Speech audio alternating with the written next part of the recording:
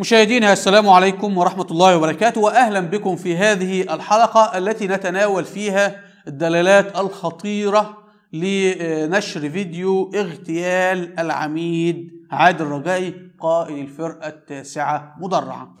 وتحرك مجموعة من مقاتلين الأبطال للتنفيذ عند الساعة 6:25 صباحا حيث نزل المجرم عادل رجائي من منزله مرتديا بزته العسكرية وكان حارسه وسائقه في انتظاره عند بوابة العمارة. في هذه اللحظة انقض مقاتلنا الأول وأطلق النار باتجاهه مما أدى لإصابة الهدف إصابة مباشرة وفرار جميع المرافقين في حالة من الرعب والهلع والاختفاء خلف السيارات المتواجدة في المنطقة. فيما تقدم مقاتل آخر وانقض على المجرم الهالك انقضاض الصقر على فريسته ليضع حدا لجرائمه برصاصة بين عينيه.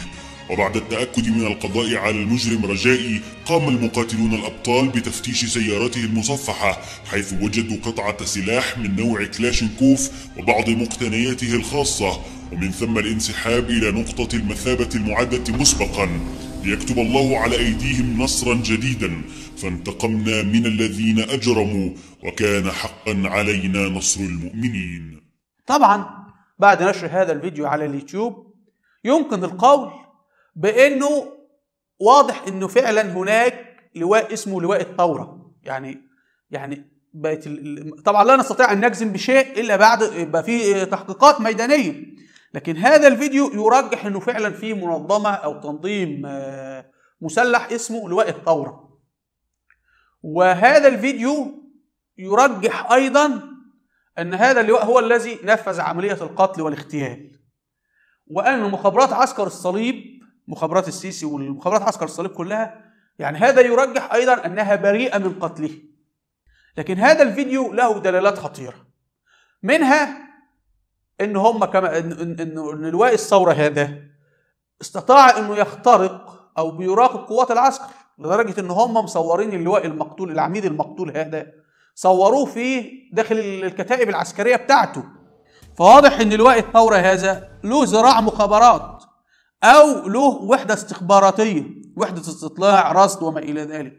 وبدأ يدخل في قلب ال- الخصم بتاعه. يعني اللي حصل إيه؟ عسكر الصليب ومخابراتهم مخترقين الإيه؟ التيار الإسلامي. ما يحدث الآن إنه في اختراق يأتي زي تسريبات السيسي اختراق مضاد. ولكن واضح إن هؤلاء استخدموا الاختراق بتاعهم ليس للترويج اعلاميا. يعني هم ما راحوش قالوا إن اللواء عادل رجائي قاتل وإن اللواء عادل كذا وإن لا لا لا. واضح إن هم استخدموا هذه المعلومات لتنفيذ أعمال مسلحة لقتله لتصفيته وما إلى ذلك. فبالتالي واضح إن هم لهم ناس داخل العسكر نفسهم طبعا واحد يقول لك يبقى هذا دليل على إنه العسكر هم اللي نفذوا ممكن. ولكن ما هو وارد إن يكون التنظيم العسكري نفسه في تنظيم سري تا- آخر فيه.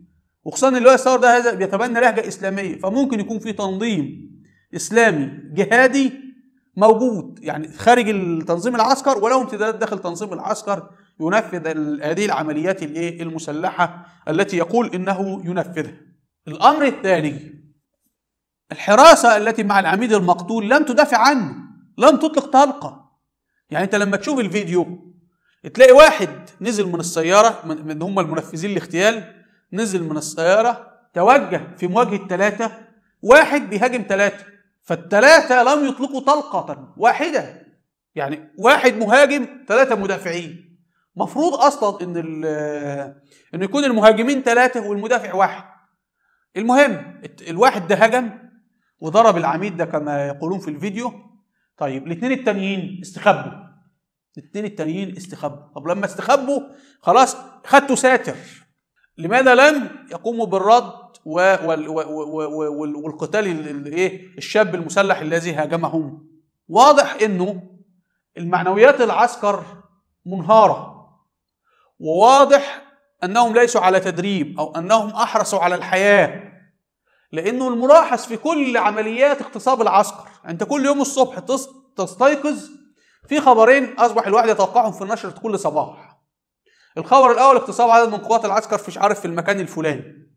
والاغتصاب دائما يتم دون مقاومة.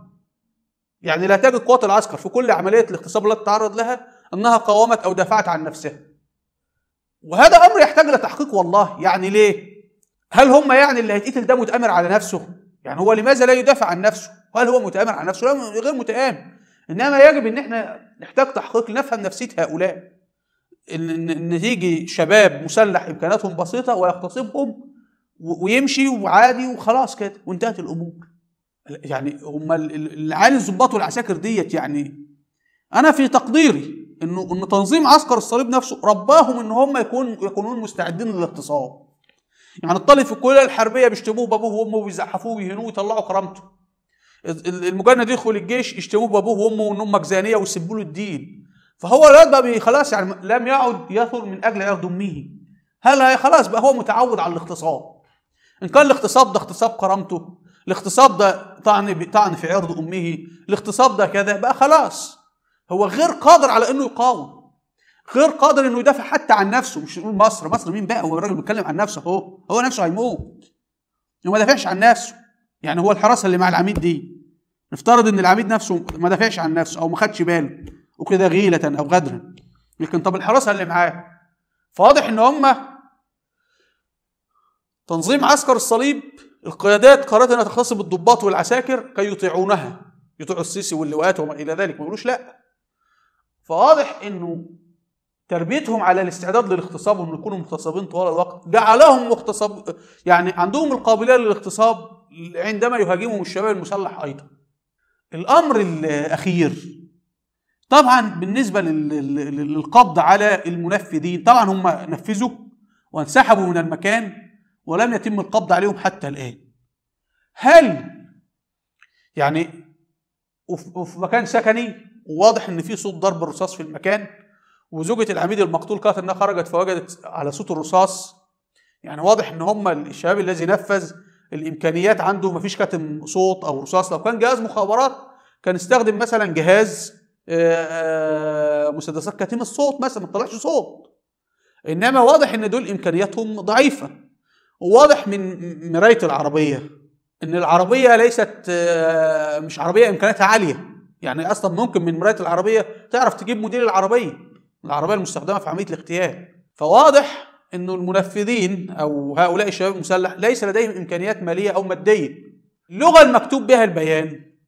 يفيد أنهم يعتبرون ذلك ثأرا لعمليات قتل يقولون انه قام بها العميد المقتول ولا يعتبرون ذلك جهادا في سبيل الله. يعني اللغة كلها البيان أو الفيديو لا تفيد أنهم فعلوا ذلك جهادا في سبيل الله.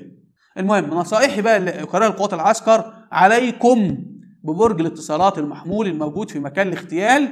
هتعرفوا منه أرقام الهواتف التي مرت على ال- اللي كانت متواجدة. وتستطيعوا أن تلقوا القبض على المنفذين من هذا المكان. هتلاقوا في ثلاث تليفونات ماشيين مع أبراج المحمول نفسها. قبل الحادث أو بعد الحادث. تتبعوا كده كل ثلاث أرقام تليفونات موجودة ماشية مع بعضها.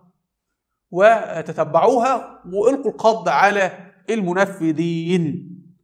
وأرجو أن تكون الصورة قد وضحت يا مشاهدينا. وإلى اللقاء. والسلام عليكم ورحمة الله وبركاته. اشترك في قناتنا العالم الأسود للعسكر لتتابع الحلقات الجديدة. نلفت عناية مشاهدينا الكرام إلى إطلاقنا قناة إضافية على يوتيوب تحت اسم الوعي الإسلامي. تتناول الأحداث الجارية بالشرح والتحليل بعيدا عن محظورات الإعلام التقليدي مع العديد من الشخصيات فتابعوها.